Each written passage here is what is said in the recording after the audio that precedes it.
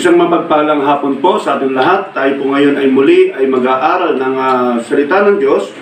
At ah, ito po yung ating sinusundan na sa tuwing papatak ng alas 5 ng hapon, tayo po ay nagkakaroon ng tinatawag na daily live streaming. At ako po ay nagpapasalamat ay naging bahagi po ako sa pagpapahayag ng ah, mensahe ng ating Panginoon. Papasalamat din ako kay Pastor Wilbert Arbutian, yung ating ah, vision keeper ng SCB, na kung saan ay siya nagme-mentor sa atin para tayo ay magkaroon ng ah, pagbabago o pagtaas ng ating stature. Yun din naman din sa kay Pastor Asmin at sa mga bumubuo ng ah, daily live streaming na ito na kung saan sina Pastor Archie, Mazarte at saka si Mang Eugene na siyang kung saan ay siyang sumusuporta at tumutulong para may isaayos ang lahat ng ito at may deliver ng maayos at maliwanag sa mga tao. Itong mga mensahe na ating ipinapahayag kada alas 5 ng hapon araw-araw. So muli, ah, sa pagkakataong ito ay panibagong ah, oras na naman pong muli na ako ay makapagturo sa inyo. At ang aking pong ipapahayag ngayon ay living in righteousness is essential for prevailing. Ang pamumuhay ng matuwid ay kailangan-kailangan para magwagi. Tandaan po natin, hindi po natin pwedeng pagwagian ang takbuhin ng mundo, ang karanas ang mga pangyayari sa mundong ito, katulad ng mga karanasan natin nararanasan ng mga nakaraan na tinatawag natin pandemic, na kung saan ay talagang ah, marami tayong mga uh, kinailangan gawin para magpatuloy ang ating gawain sa Panginoon. Pero hindi natin ito magagawa without living in righteousness. We cannot prevail without living in righteousness. That's why living in righteousness is essential for prevailing. Kung gusto po natin talagang magwagi sa mundo ito, kinakailangan nating mamuhay ng matuwid sa harapan ng Diyos. Hindi po pwede na samahan tayo ng Panginoon sa bagay na ito without uh, living in righteousness. So, hayaan niyo po kung basahin sa inyo ang aklat ng Awit, chapter 1, verse 1 to 6. Psalms, chapter 1, verse 1 to 6. Samahan niyo po ako sa aking pagbabasa. Blessed is the man that walketh not in the counsel of the ungodly, nor standeth in the way of sinners, nor sitteth in the seat of the scornful, of his control. But his delight is in the law of the Lord, and his law that he meditate, meditate, meditate day and night. And he shall be like a tree planted by the rivers of water, that bringeth forth his fruit in his season. And whatsoever he doeth shall prosper. The ungodly are not so, but are like a chaff which the wind driveth away. Therefore, the ungodly shall not stand in the un- un- in the judgment, nor sinners in the congregation of the righteous. For the Lord knoweth the way of the righteous, but the way of the ungodly shall perish. Dito po, tat- dito po iikot yung ating pag-aaralan sa awit chapter 1 verse 1 to 6 na kung saan ipapakita po natin dito uh, allow me to outline this this book and chapter na kung saan ang ipapakita po natin dito yung pamumuhay ng matuwid ay kinakailangan para tayo ay mag-prevail. I was remembered during that time ng ating mentoring sa sa uh, ako po ay nakaadalo ng ating mentoring sa may sa silang Cavite uh, kina Pastor Archie na kung saan ay uh, napakinggan ko po doon na kung saan ay ano ang nagtula, ano ang dahilan kung bakit nanatiling matuwid sa kabila ng contamination of this world sa buha sa paligid sa paligid ng uh, ni ng uh, sa panahon na ni Noah ay napapalibutan siya ng mga ungodly. Ano yung dahilan kung bakit hindi siya naapektuhan ng takbuhin ng kaguluhan ng mundong yan sa panahon nila? Righteousness. Yung righteousness ang naging dahilan kung bakit hindi siya nakontamina ng takbuhin ng mundo. That's why Itong verse na to, itong book and verse na to, ang bibigyan din natin sa pagkakataong ito. Uh, why righteousness is necessary? Bakit kailangan natin mamuhay ng matuwid? Sapagkat alam natin, number one, righteousness people are blessed. Righteous people are blessed. Sa Psalm chapter 1 verse 1, sabi, Blessed is the man that walketh not in the counsel of the ungodly, nor standeth in the way of sinners, nor sitteth in the seat of the scornful. Sa Tagalog, mapalad ang taong hindi nakakit niya masasama upang sundan niya ang kanilang pahit baling halimbawa. Hindi sumasama sa mga taong ang laging nandikay, pagtawanan lamang at hamakamakin ang Diyos na dakila. So, very clear dito na sinasabi, blessed ang kahulugan ng, ng tinatawag na blessed, you are highly favored. No?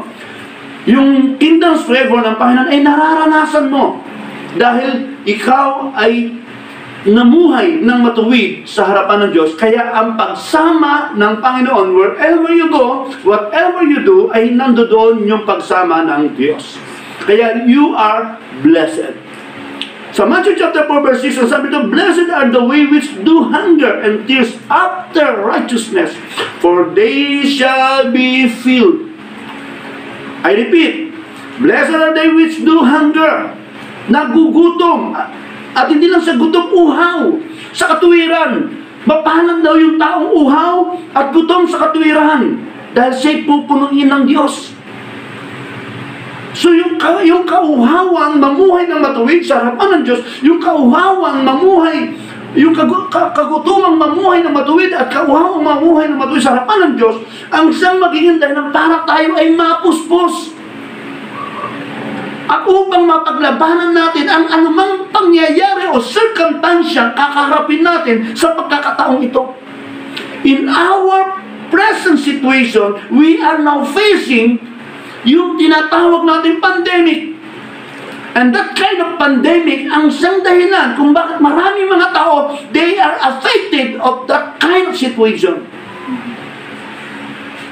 So sa pagkakataong ito, kapatid, ang kailangan natin ay mauhaw. Magutom sa salita ng Diyos. Magutom na mamuhay na matuwid sa harapan ng Diyos. We need to become hunger. We need to become thirsty after righteousness so that the Lord our God is faithful to fill us. To fill us para mapaglabanan natin, makasurvive tayo sa pinagdadaanan nating pandemic. Blessed are the pure in heart. Yung tinutukoy na righteousness dito ay yung may malinis na puso. For they shall see God. Para makita niya yung kalwalatian, kapangyarihan ng Diyos sa buhay ng bawat isa sa atin. Kapatid, ito yung dahilan, isa sa dahilan kung bakit kailangan nating mamuhay ng matuwid. We need to become blessed. Paano tayo mamumuhay na mapinagpahala? Paano ang gagawin natin?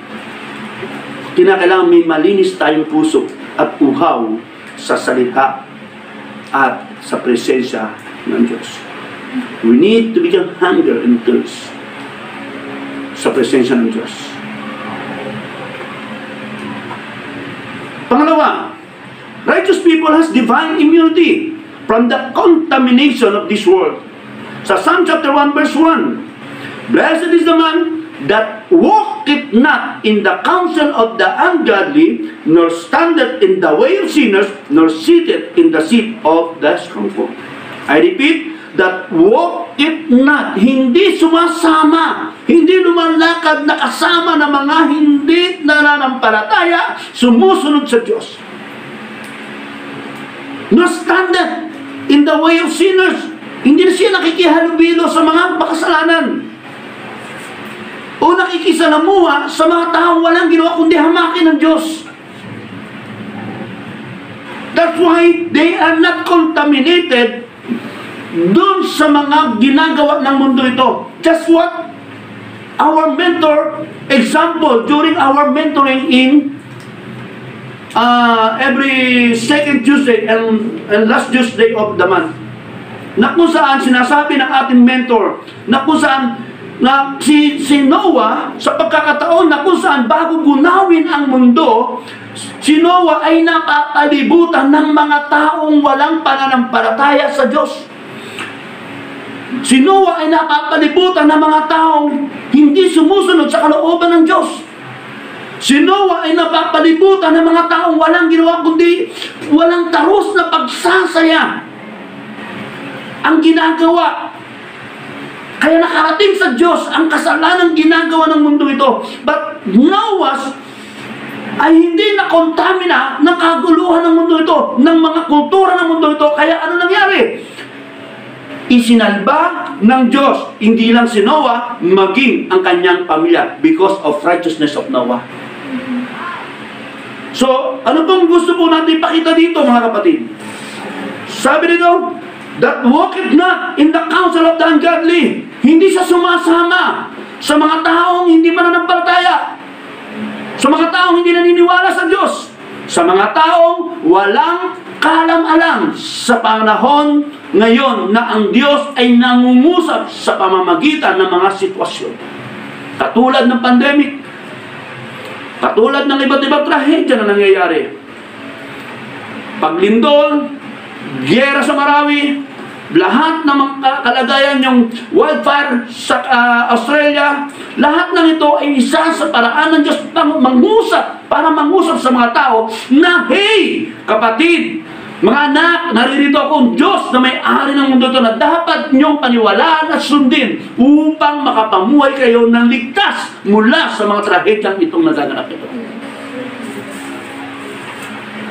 Sa Psalm chapter 1 verse 4, The ungodly, the ungodly are not so, but are like a chaff which the wind driveth away. Ang mga hindi sumasampalataya at hindi naniniwala sa Diyos ay parang ipa ang kawangis na kapag ang hangin ay umihip, mapasilangan, mapakaluran, mapahilaga, pag ang hangin ay umihip, hindi siya ay natatangay. Kaya marami mga tao ngayon, sa mundong ito na kung saan yung kanilang ginagawa ay ayon sa takbuhin ng mundo. Pag sinabi ng mundo, dito tayo pumunta, dito tayo pumunta. Pag sinabi ng mundo, dito maganda, dito maganda. Pag sinabi ng mundo, ito nararapat, ito nararapat. Kaya yung tao, ang mga tao, walang sariling disposisyon para tutunan yung tamang daan sa kanyang dapat patunguhan. Why? It's because, ang sabi ng Biblia, the ungodly are not so, but are like a chaff, which the wind drive it away. Siya natatangay o ang angin ay umihip. That's why we need to become righteous. Why righteous is necessary? Because righteous people has a divine immunity from the contamination of this world. Hindi tayo nakokontamina ng mundo ito. I was remembered in that that was when uh, when we are in uh, in a ment uh, mentoring in Taguig. In our mentoring in Taguig. Na yung in, in example ng ating mentor na si Pastor Wilbert, na kung saan, bakit ang isda? Katagal-tagal na panahon na malagi sa dagat. Doon na isinilang sa dagat. Hanggang sa pagkakataon na siya'y lumaki. Nag-mature yung isang ito. At sa kanyang pagmamature, hindi sinasadyang siya'y nahuli na. Nahuli ng mangingisda. At yung, yung nakahuling mangingisda ay medyo ma, talagang sabit sa pagkain ng isda. Kaya ginawa niya, sa kagustuhan niyang kainin ng isda, hindi niya na to, inugasan niya, nilinis niya, sa kanya binudura ng asin at saka pinirito.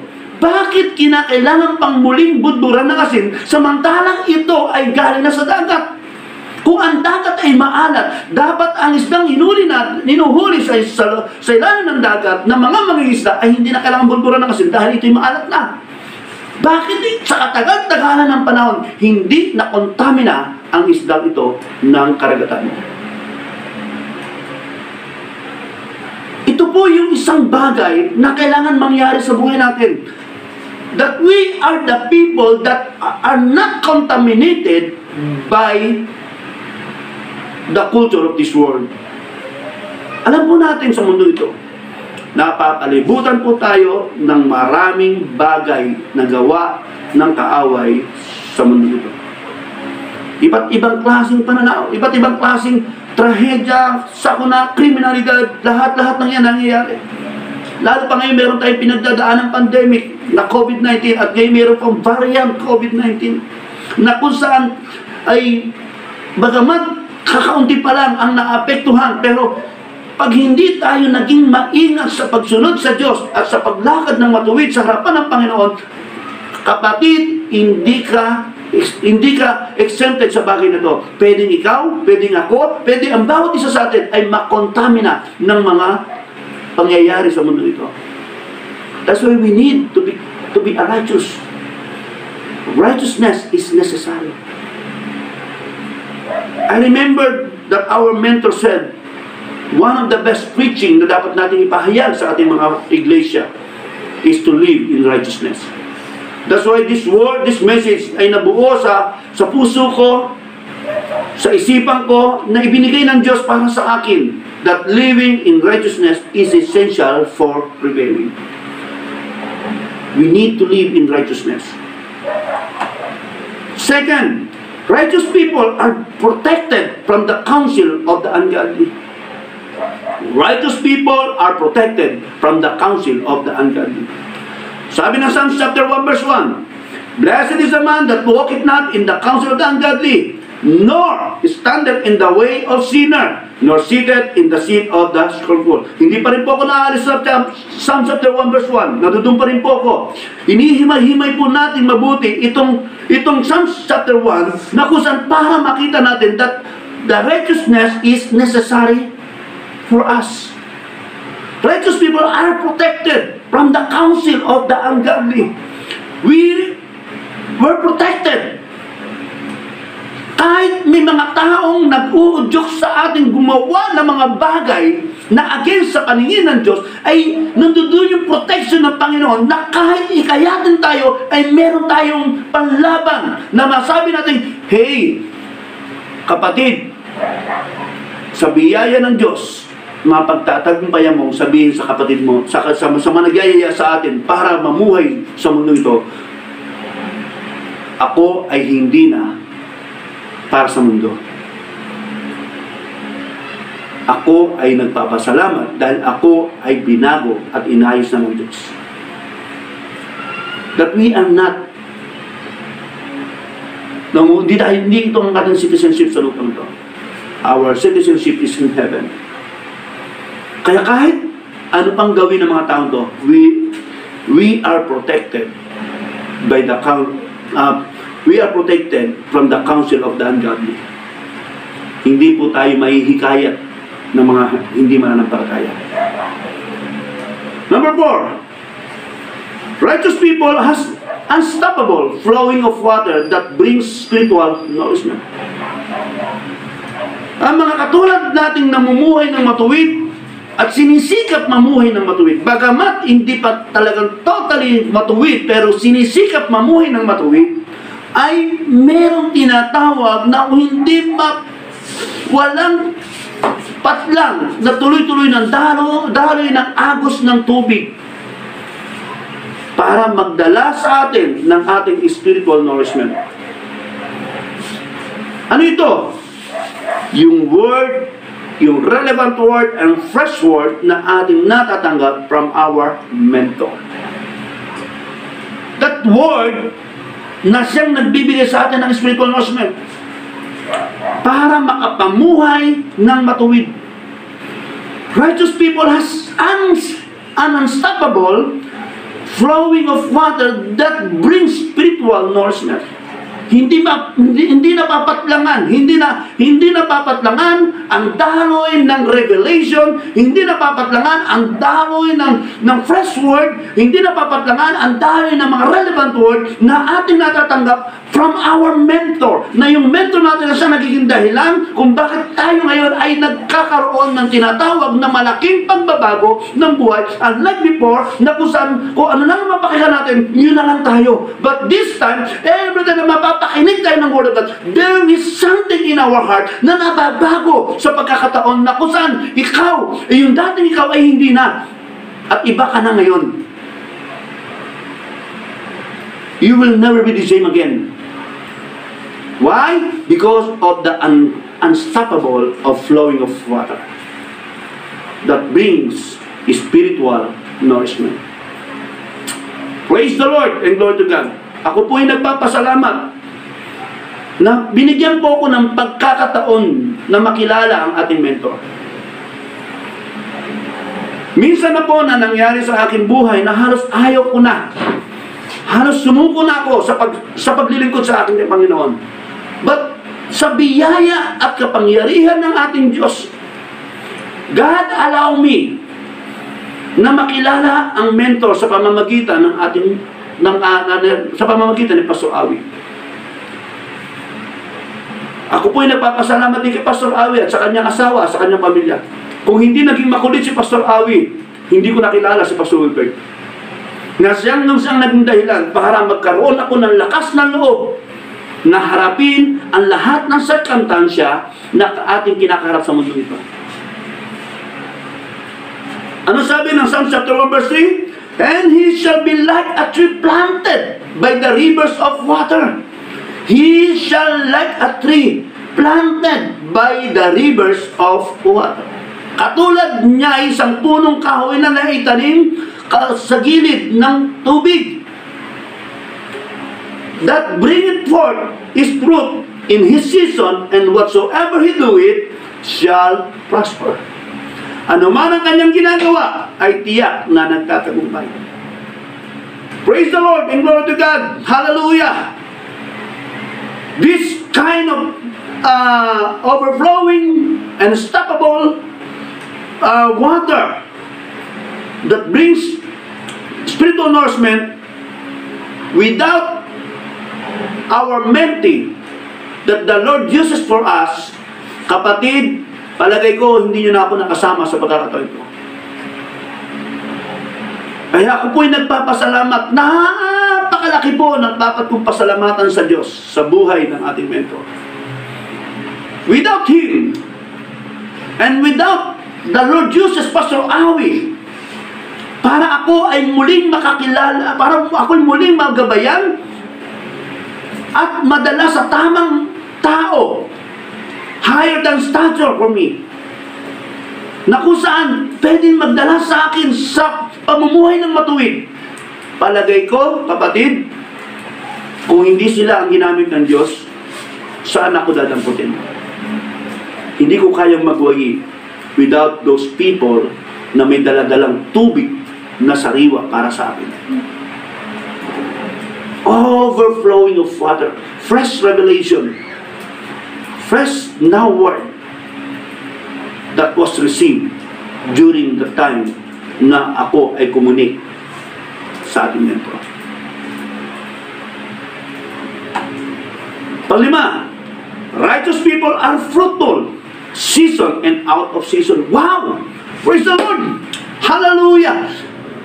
Sabi to, ang taong matuwid ay nagiging mabunga.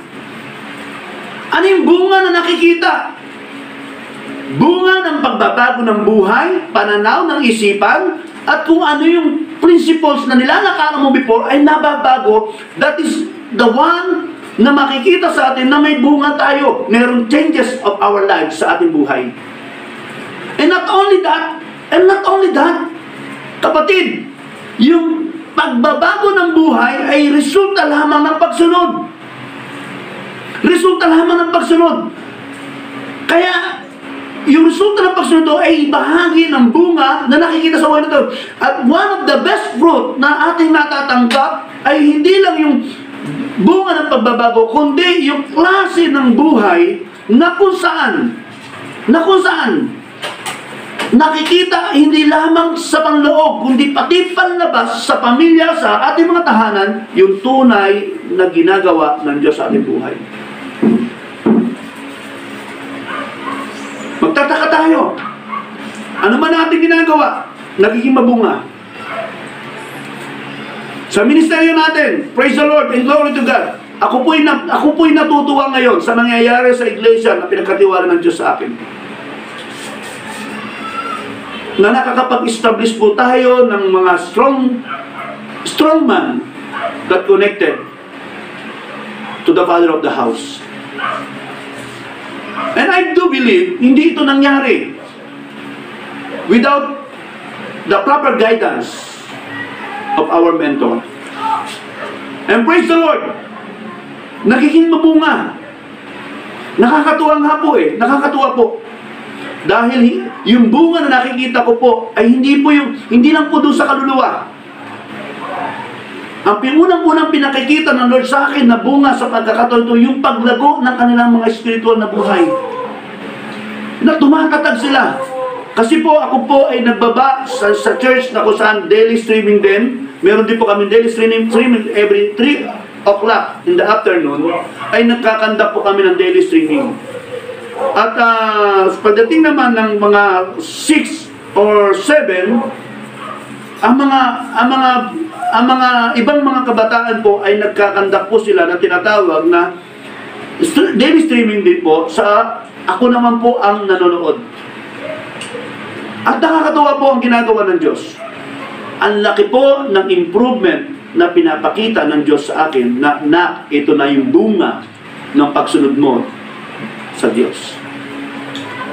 Ito na yung bunga ng pagsunod mo sa mga napapakinggan mong mensahe sa pamamagitan ng taong pinadala ko para sa iyo.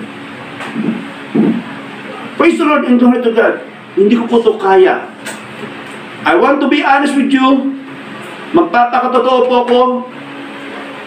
Ako po ay walang kakayahan na para palakasin pagtibayin ng church.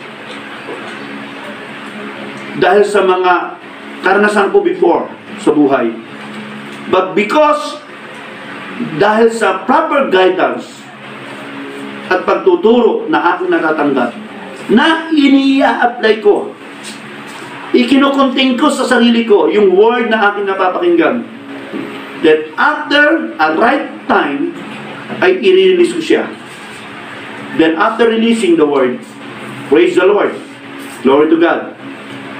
Sa biyaya ng Panginoon, maganda po ang ginagawa ng Diyos sa amin sa araw-araw. At ako po naniniwala, ako po naniniwala, marami pang gagawin ng Diyos sa buhay namin. At sa parang ito naman yung pakikinig, hindi lang ako ang pwedeng, hindi lang, hindi lang sa akin kikilos ang Diyos. Kung ikaw ang napakinggan mo to, kapatid, ako naniniwala, kikilos din ang Diyos sa iyo. Kayo mga nanonood sa live streaming na to, kikilos din ang Diyos para sa inyo. In order for you to become fruitful. Hallelujah. Ang sarap ng pakiramdam.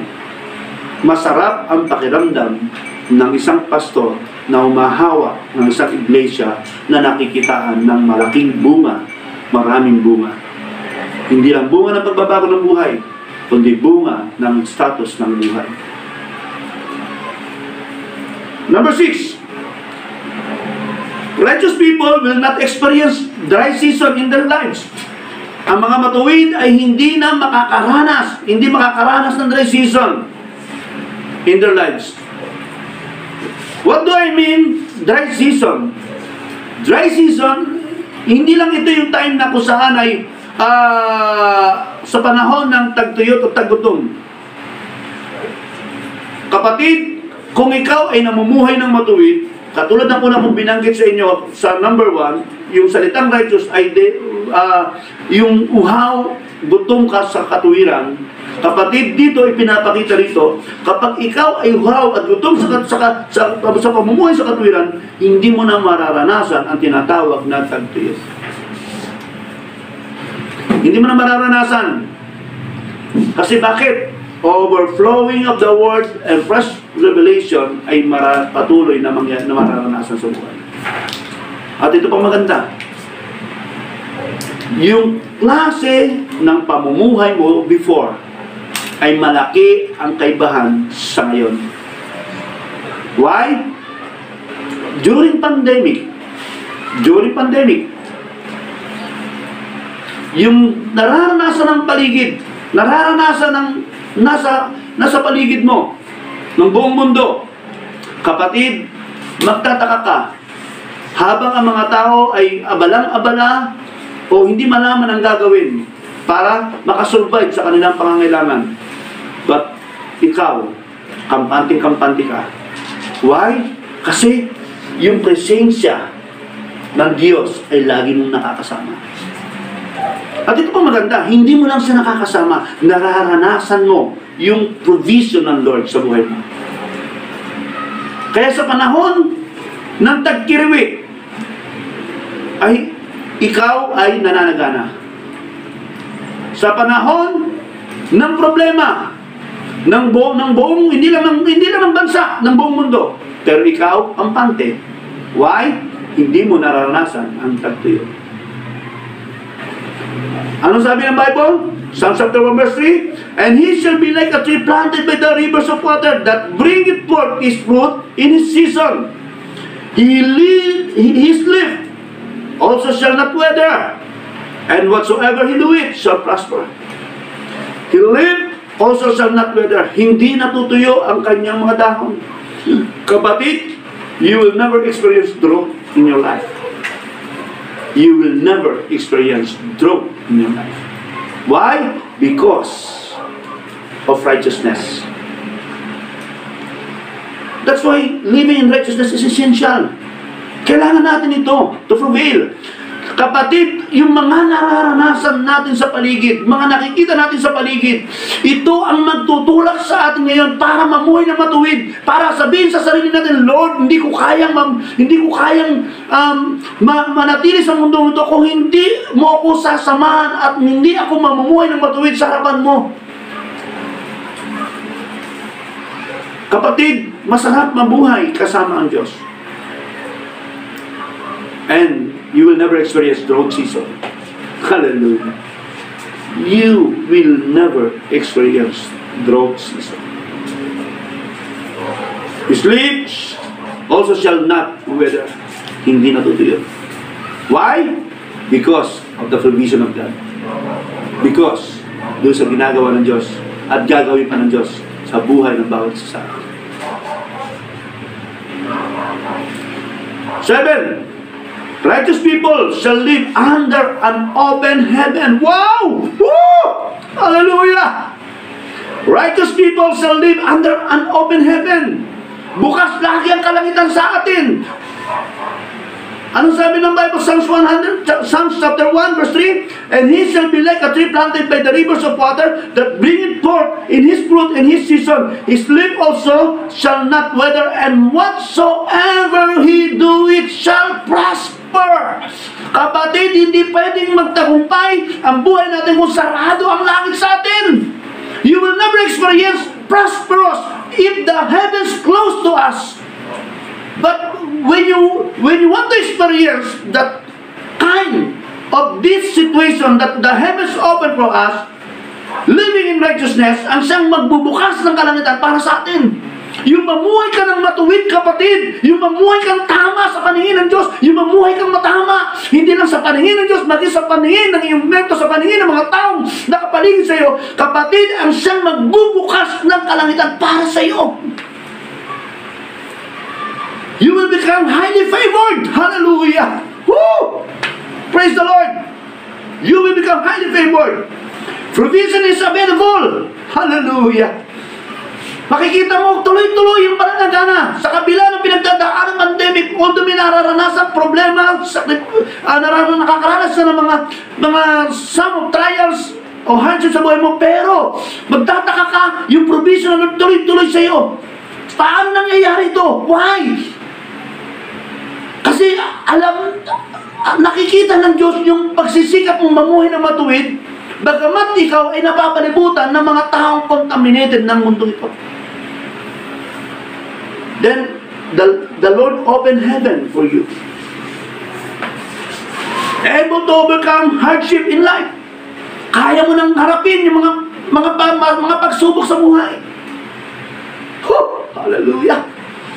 Ang sarap ng pakiramdam na every time na meron kang pinagdadaanan, nagtatagumpay ka, every time na meron kang, meron kang, may pangyayari sa buhay mo, nakikita mo yung kamay ng Diyos na kumikilos. Every time na meron kang gina, pinagpaplanuhan, meron kang binabalak, nakikita mo bukas ang langit dahil nagtatagumpay ka. Whew! All plans to execute shall prosper. Lahat ng plano mo, lahat ng balak mo, lahat ng gusto mong mangyari sa buhay mo ay pinagtatagumpay na because the heavens open for you. Bukas ang langit sa iyo, kapatid. Bukas ang langit sa atin, mga namumuhay na matuwid sa harapan ng Diyos. Hallelujah. Ang sarap ng pakiramdam mamuhay under open heaven. Ang sarap mamuhay. At ito ang karanasan ng mga taong namumuhay na matuwid. Why righteousness is necessary? Ano pong sabi? Why righteousness is necessary? First is righteous, righteous people are blessed. Pinagpala ang mga taong namumuhay ng matuwid. Pangalawa, righteous people has a divine immunity from the contamination of this world. Meron tayong tinatawag na divine immunity. Hindi tayo na, na nahahawa ng mundo ito. Righteous people are protected from the counsel of the ungodly. Protektado tayo. Hindi tayo na hindi tayo nadadala ng mga taong hindi sumasampalataya, hindi sumusunod sa Diyos. Nananatili kang maka-Diyos, nananatili kang sumusunod sa kalooban ng Diyos. Righteous people has unstoppable flowing of water that brings spiritual nourishment. Tuloy-tuloy yung daloy ng tubig. Dagat, sabi nga na Pastor Awi, naalala ko nang sinabi ni Pastor Awi, kung si Pastor, Pastor Wilbert ay dagat, pero si, si Dr. Jonathan David ay karagatan. Why? Because grabe yung yung tuloy-tuloy na daloy ng revelation sa ating mentor na siya namin naman natin natatanggap. Every time na tayo nagpapamentor. Kaya overflowing of water that brings spiritual nourishment. Tuloy-tuloy. Umaapaw sa puso natin yung mensahe ng Diyos sa buhay natin. Minsan nga, hindi na po natin halos natatapos yung mensahe, meron na naman panibago. Apaw-apawan talaga, sa totoo lang, ako po, marami na po akong message na naiipon na hindi ko pa lahat na imimensahe, pero meron na naman panibago. Kasi bakit? Overflowing of water, tuloy-tuloy sa atin. Number five, righteous people are fruitful, season and out of season. Nagiging mabunga sa panahon na, maging sa panahon man o hindi sa panahon, nagiging mabunga. Number six, righteous people will not experience dry season in their lives. You will never experience drought season. Nakakagutom na, nakaka-problema na sa paligid, pero ikaw nananatiling maayos ang takbuhin ng buhay. Why? Because nakikita ng Diyos na ikaw ay namumuhay at nagsisikap mamuhay ng matuwid sa harapan niya. Righteous people shall live under an open heaven. Ang mga ang mga tao, yung mga taong lumalakad na matuwid ay nabubuhay sa ilalim na bukas na kalangitan. Kapatid, if you are living in a high, in, in, in, a, in, an, in an open heaven, kapatid, you are highly favored. You will become highly favored. Provision is available. Able to overcome hardship in life. All plans to execute shall prosper. Wow! Kapatid, pitong bagay lang po ito na pinapakita ko po na ang kalagahan ng pagiging matuwid kung bakit kailangan natin, ito kasi ang mararanasan natin. So, what is righteousness? Ano ba talaga ang kahulugan ng righteousness? In uh, dictionary, meaning of this word righteousness is number one, acting in accord with divine or moral law. Free from guilt or sin. Malaya ka.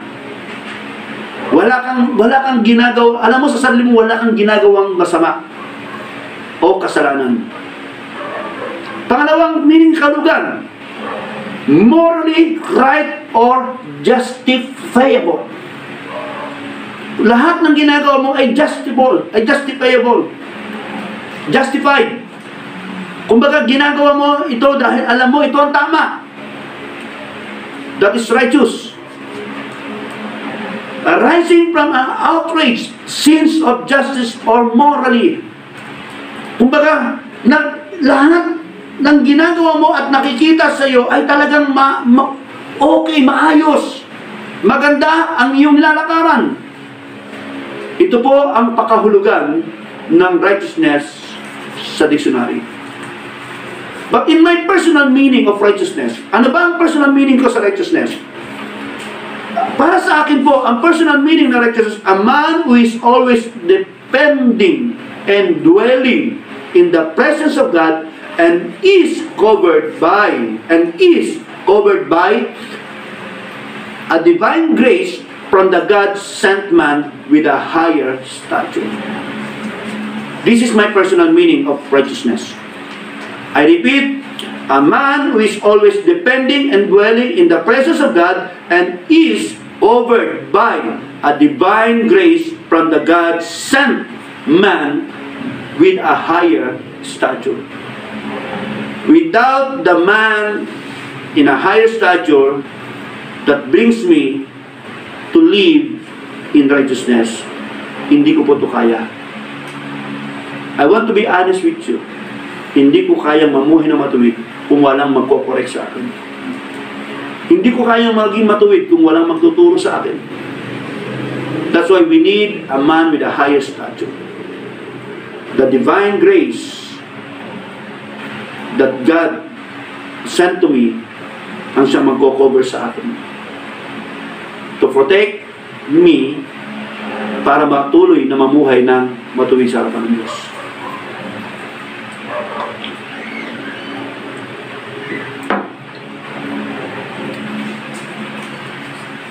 Why do we need to live in righteousness? Bakit kailangan natin mamuhay na matuwid sa harapan ng Diyos? Letter A, because our flesh is weak. Mahina po ang ating laman. Magpakatotoo po tayo. Hindi po natin kaya kung hindi tayo sasamahan ng Diyos. Ang sabi ng Matthew 26 verse 41, Watch and pray that ye enter not into temptation. The spirit indeed is willing. Ang ating spirito ay handa. But the flesh is weak. Subalit ang ating laman ay mahina. Kaya kailangan natin sikapin mamuhay ng matuwid sa harapan ng Diyos. Ang pamumuhay ng matuwid ay sinisikap. Lumakad na kung maaari, natanda, ko yung sinasabi na, yung tinuro sa atin ng, uh, ng ating mentor, yung the, the, the spirit-filled life, na kung saan sinabi niya, kailangan maging maingat tayo sa ating ginagawa. We should be careful in what we are doing. Maging maingat tayo sa ating ginagawa. Ano yung mga laman? Ano yung gawa ng mga laman? Work of the flesh. Galatians chapter 5 verse 19 to 21. Now the work of the flesh are manifest, which are these: adultery, fornication, uncleanness, lasciviousness, idolatry, witchcraft, hatred, variance, emulation, wrath, stripes, sedition, heresies, yung mga chismisan, no? Inveighings, pati pagkaingit, kasalanan din pala to, kagawa din pala to ng laman, talagang gawa talaga to ng laman murders o mamamatay tao, malasinggero, drunkenness, revealing, and such like, of the which I tell you before, as I have also told you in time past, that they which do such things shall not inherit the kingdom of God. Itong mga tao ito ay hindi magmamana ng karya ng Diyos. Kapatid, this is the work of the flesh. Ito yung kulturang kinasanayan ng mundo kinasanayan natin sa mundo. Kinasanayan ng katawan natin. Alam niyo po ba, when when you want to become a righteous, kung kailan mo gustong gumawa ng matuwid, doon napakaraming temptation na dumarating sa buhay ng tao. Nandyan, marami mga alok ang demonyo. And every time na mayroong alok ng demonyo, dahil dati ka na doon sa lagay na yon, at yun na nakasanayan ng laman mo, ang lakas ng hatak para sa iyo. Yung pang-aakit ng demonyo, na gawin mong muli yung ginagawa mo dati. But, because of the Holy Spirit na nagbibigay ng kalakasan sa iyo, para pagtagumpayan ito, kung bakit nakakayan nating ma-overcome itong alok ng demonyo sa kabila na ang kulturang kinalakihan, sa kabila na ang tradition at kultura at uh, at sitwasyon na kinalakihan ng ating katawan, itong katawang panlupang ito, ay makamundo. Punong-puno ng kasalanan, katulad na sinasabi ng Biblia ito sa Galatians chapter 5 verse 19 to 21. Na kung saan ito yung magawa ng laman na kinas kinasanayan natin, na iniwanan natin, binitawan natin sa panahon na nagdesisyon tayo na sumunod sa Diyos. Kapatid, ang nakakatuwa sa Diyos, binibigyan kanya ng lakas para paglabanan ito. Kaya the flesh is weak. Kung hindi tayo mamumuhay na matuwid, hindi natin to kaya. That's why we need to live in righteousness. We need to live in righteousness. Mahina naman natin kapatid. Mahina ang laban natin. We need the Lord. Kailangan natin ng Diyos. Letter B. The flesh needs to be transformed by the Word. Ang katawang lupang natin ito ay kinakailangan mabago. Mabago na sa pamamagitan ng salita. At ang salita ng Diyos nito, every time na mapapakinggan natin, there is something in our lives na unti-unting nababago.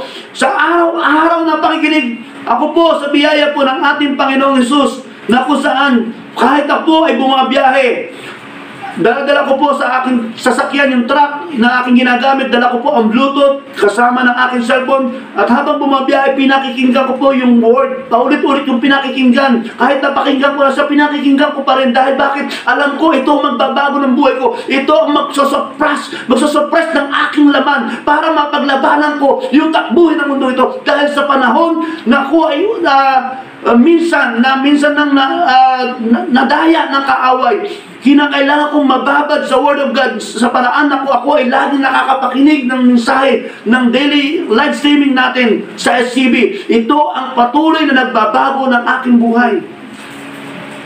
Kaya ginagawa ko po, nagdadala po ako ng Bluetooth.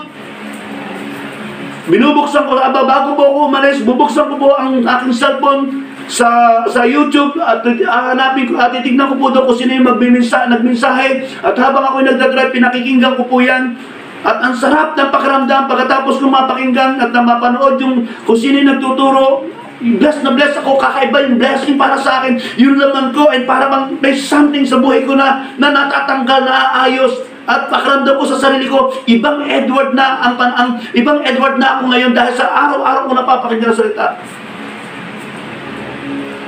That's why we need to be transformed by the Word. Ito po ang kahalagahan ng salita na ating napapakinggan. Ang sabi ng Romans chapter 12 verse 2, And be not conformed by this world, but be ye transformed. Be ye transformed. And what uh, instrument that God uses to us to be, to be transformed is only the Word.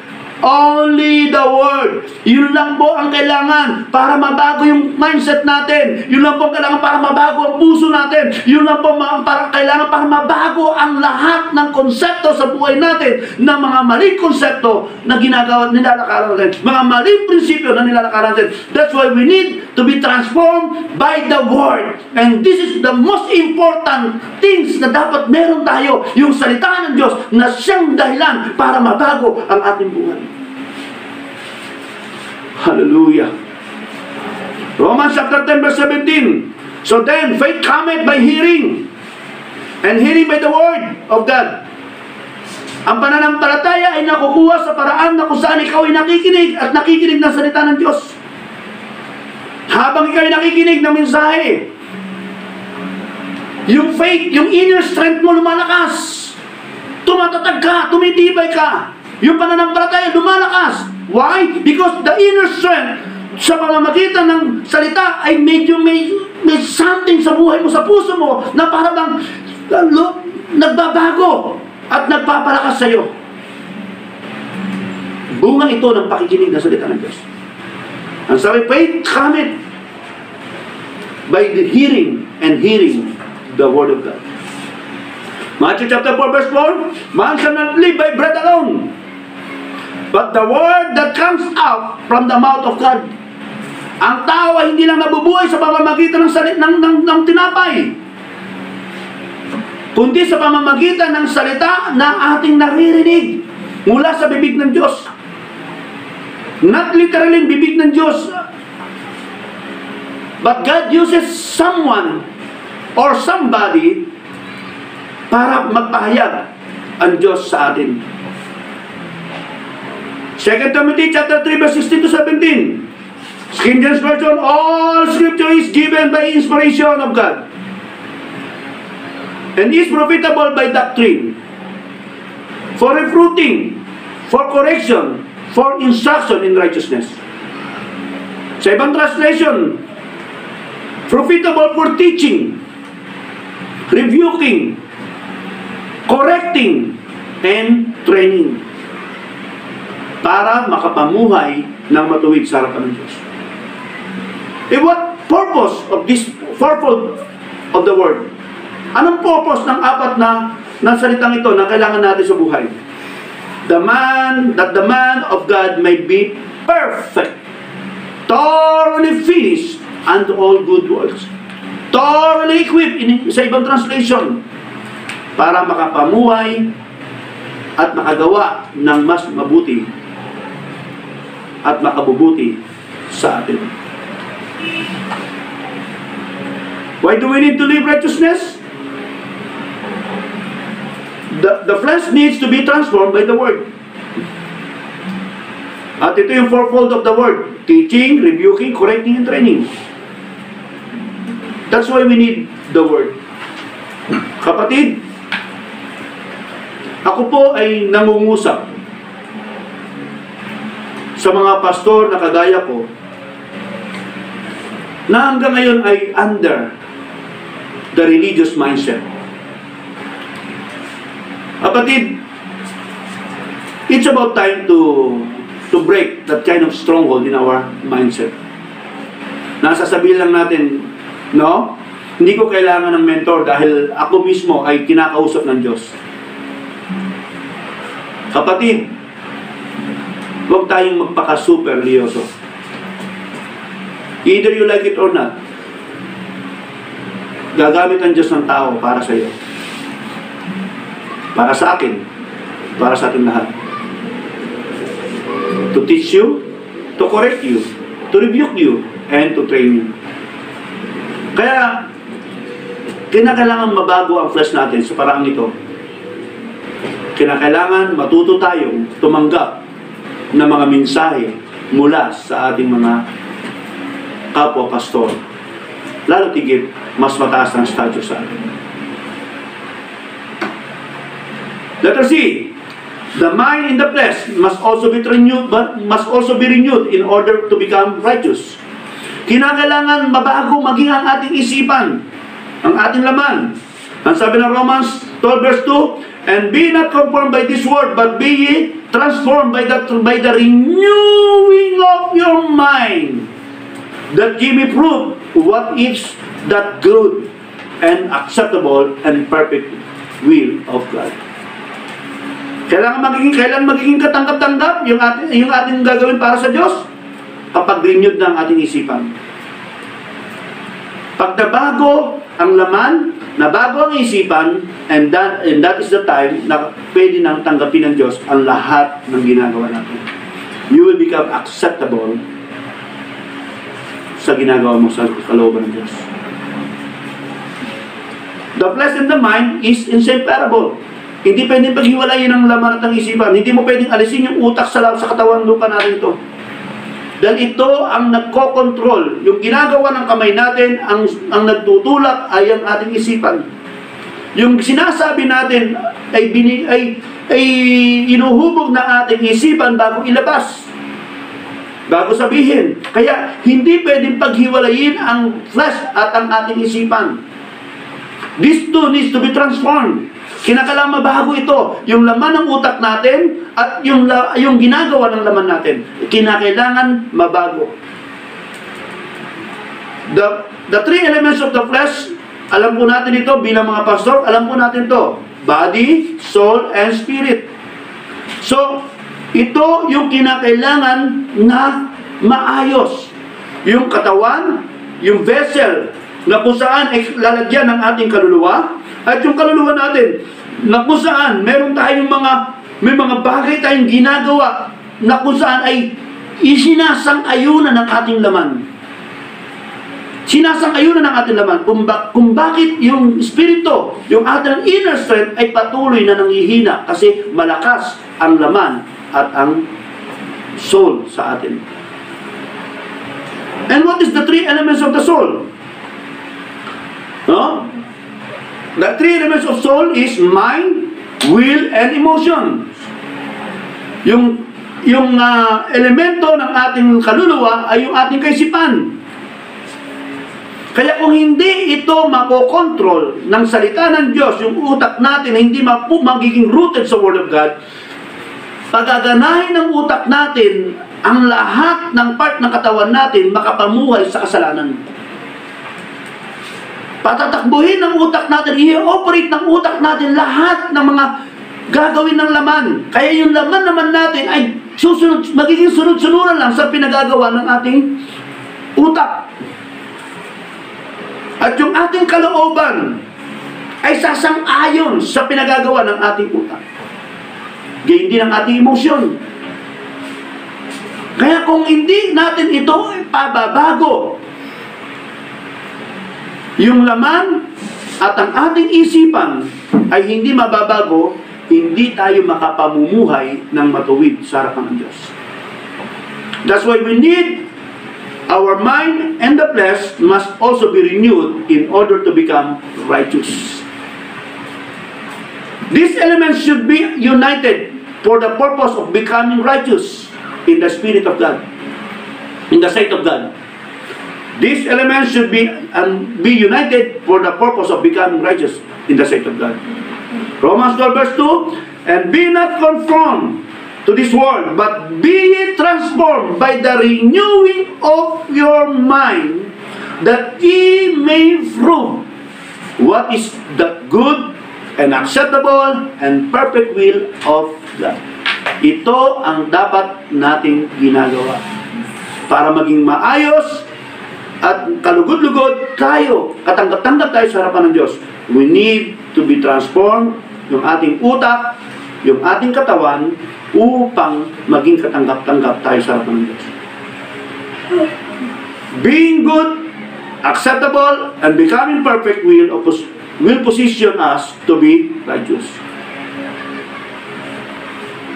Ang pamumuhay ng matuwid, katanggap-tanggap sa Panginoon, at maging, maging perfecto ang siyang magpo-position sa atin para mamuhay o para maging matuwid. Kapatid, masarap mabuhay sa presensya ng Diyos. Why do we need to be, why do we need to live in righteousness? Number letter D, transforming the lives to become righteous can solicit the attention of God to be with us. Transforming the lives to become righteous can solicit the attention of God to be with us. Ang pamumuhay ng matuwid, yung pagbabago ng buhay para maging matuwid, ang siyang nagtatawag ng atensyon sa Diyos para samahan ka. Kapatid, you will never overcome this world without God. You will not prevail without God. That's why we need to call the attention of God. We need to solicit the attention of God. And how we solicit the, the attention of God? We need to be transformed to become righteous. And that character can solicit the attention of God to be with us. And that character can solicit the attention of God to be with us.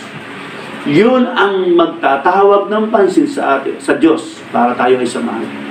Yung pamumuhay ng matin. Yun din yung ginawa ni Noah. Kaya sa kabila ng lahat na siya ay napapalibutan ng mga taong ungodly, pero hindi nawala sa paningin ng Diyos si Noah at ang kanyang pamilya. Why? Because of the righteousness.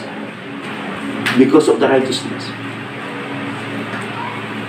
Our God will, will no longer be with the people who are under the corrupt world. Hindi pwede na manatili, no? O, sumama ang Diyos sa mga taong sakop pa ng mundong makasalanan. Kaya kung ikaw ay nananatili sa mundong makasalanan, kapatid, do not expect na samahan ka ng Diyos. Mapapahiya ka lang sa harapan ng Diyos. Hindi lahat na tumatawag sa pangalan ng Diyos ay maliligtas, kapatid. Kundi yaon lamang sumusunod sa kalooban ng Diyos. And what is the will of God? To live in righteousness. And that is the will of God, that you must live in righteousness. If the people are under the culture of this world, they will never experience the power to prevail and the grace to govern. If the people are under the culture of this world, kung ang tao ay nasasakop pa rin ng kultura ng mundong ito, they will ex they will never be experience the power to prevail and the grace to govern. Kapatid, hindi mo mararanasan ang kapangyarihan ng, pag, ng pagbabagi at ang biyaya ng pamamahala kung ikaw ay nananatili pa rin sa kultura ng mundo ito. What shall we do in order for us to prevail and govern? Siguro kapatid, putulin ko muna po dito dahil isang oras lamang po yung ating uh, pagtatalakay. Kaya kung ipagpapatuloy ko pa ho ito, ay mahaba-haba pa ho ito. Baka kakain po tayo ng panibagong oras. Kaya For the meantime, kung ako po ay pagkakalubang papumuling magpahayag ng, ng salita ng Diyos at bibigyan pa ng pagkakataon ng ating mentor na si Pastor Wilbert Gutial para makapagbahagi ng mensahe ng Panginoon sa SCB. Kapatid, it is my big privilege and opportunity na ako po ay makapagturo muli kaya, salamat po. For the meantime, tatapusin ko muna po ang mensahe ito dito po sa ating pinag-uusapan na kung saan, why do we need to live in righteousness? So, ang pinag-usapan po natin, uh, living in righteousness is essential for prevailing.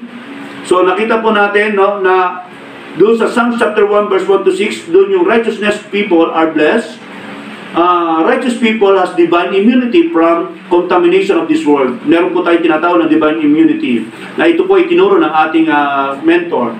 Righteous people are protected from the counsel of the ungodly. Protektado po tayo mula sa uh, mga taong walang ginawa o walang, walang ibang naisin kundi hamakin ng Diyos. Righteous people as an unstoppable flowing of water that brings spiritual nourishment.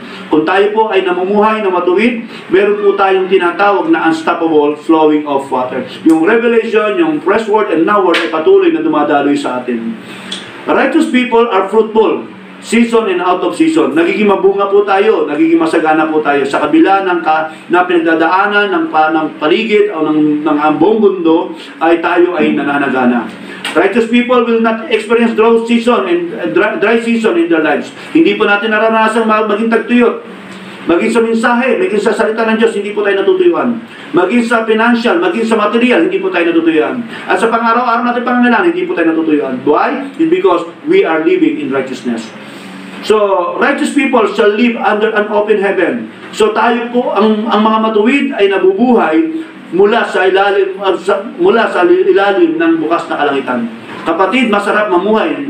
Kapag tayo ay nabubuhay sa sa ilalim ng bukas na kalangitan, you will become highly favored. Magiging highly favored ka. Lahat ng ginagawa mo talagang nakikita mo sinasamahan ka ng Diyos.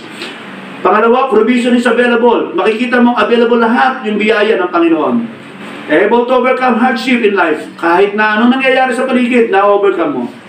All plans to execute shall prosper. Lahat ng gusto mong gawin ay nagtatagumpay. What righteousness means? Acting in accord with divine a moral law, free from guilt or sin. Pangalawa, a morally right or justifiable, arising from an outraged sins of justice or morality.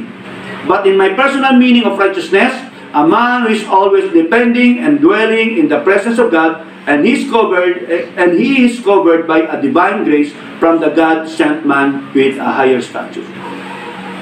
Why do we need to live in righteousness? Because our flesh is weak. Kailangan na mahina ang ating laman. Ano, at uh, pinakita ko po sa inyo yung uh, gawa ng laman, kung bakit sinabi ko pong mahina, dahil ito po yung mga nakaugalian po natin, ito yung kultura po natin na siyang dahilan kung bakit nagpapahina sa ating laman. Bakit? Kasi pinapaalala nito yung mga dati nating ginagawa. Every time na gusto natin lumakad na matuwid, ipinapakita pa rin niya yung, oy, mas, mas masarap ito kaysa diyan. So, kaya kung bakit marami pa rin mga Kristiyano na nagiging on and off sa kanilang pananampalataya. The, the flesh needs to be transformed by the word. Kinakailangan tayo ay mabago ng salita ng Diyos. Sa paraan na kung saan yung apat na fourfold of the word. Ano yon? Teaching, rebuking, correcting, and training. This kind of fourfold of the word can transform our lives. The mind in the flesh must also be renewed in order to become righteous. Kinakailangan maging mabago hindi lang ang laman at pati ang ating mga isipan. This our stronghold in our, sa buhay natin na kinakailangan ma-demolish. At ito, pinakita ko sa inyo the three elements of flesh, no? kung bakit uh, kinakailangan mabago. Yung katawan, yung kaluluwa. Dahil ito, yung dalawang ito, ang siya nagpapahina sa ating espiritu. Kung bakit hindi natin malabanan na patuloy na mamuhay ng matuloy sa harapan ng Diyos. Kaya kinakailangan mabago ito. At ano ang ano ano ang ang elemento ng uh, ng ating kaluluwa, ito ay nilalaman ang nilalaman nito ay ang ating isipan, kalooban at emosyon. Kaya kung bakit kinakailangan mabago uh, ang ating kaluluwa at ang ating isipan, ang ating laman. Letter D, transforming the lives to become righteous can solicit the attention of God to be with us. Masarap mabuhay kasama mo ang Diyos. Kaya kung ikaw ay mamumuhay na mayroong binagong buhay, para makapamuhay na matuwid ang siyang tatawag ng pansin sa ating Panginoon. So, doon muna lang po tayo. Then the, the next, kung ako po ay pagbibigyan pong muli ng uh, pagkakataon na makapagpahayag ng salita ng Diyos, ang aking pong ituturo po sa pagkakataon ito ay what shall we do in order for us to prevail and govern. Ano ang ating dapat gawin para tayo ay magwagi at nakapamahala? So, pagkakataong ito, ako po ay nagpapasalamat sa ating mentor na si Pastor Wilbert Putial na binigyan po muli ako ng pagkakataong makapagturo. Salamat din sa bumubuo no, at sumusuporta kay Pastor Wilbert. Una-una na siyempre yung kanyang mahal at nag-iisang magandang asawa ni si Pastor Asmin. Pangalawa na po, kasama po ng bumubuo ng SCB, ng uh, daily live streaming na si Pastor uh, Archie Bazarte at si Pastor Raijin. At naging si Pastor Jojo na siyang nag-remind sa akin na kinakailangan kong mag-submit ng uh, turong ito para maging bahagi ng pag-aaral ng araw-araw ng pag-aaral ng salita ng Diyos sa pamamagitan ng live streaming. Tayo po saglit ay yumuko at tayo po ay manalangin. Heavenly Father, we thank you so much for the word, the fresh now word that you have given to us that can open our mind, that can transform our mind and flesh to live in righteousness. Lord, salamat po dahil alam po namin nasa kabila ng pinagdadaanan namin na sitwasyon sa mundong ito. Hindi po namin kakayanin ang lahat na ito without living in righteousness. Pero salamat po sa pagkakataon na maging bahagi na makapagturo ng salita mo. At sa hapong ito, ako po'y nagpapasalamat na muli mo akong ginamit. Ako po'y nagpapasalamat na sa pagkakataong ito ay binigyan mo ako ng pagkakataong may bahagi. Yung salita na siyang dahilan para kami ay magwagi. Kaya Panginoon, pagpalayo po lahat ng mga nakapakinig ng salita nito ng salita mo Panginoon mula sa pagkakataon ito na nanonood sa live streaming. Salamat po, pinupuri ka po namin dinadakila. You are worthy to be exalted. You are worthy to be praised. To be praised, Lord. Bless us, bless us, bless us. To God be the glory. In Jesus' name we pray. Amen. Were you blessed with the message today? If so, please like, subscribe, and hit the bell button below for updates. Thank you for watching and see you next streaming.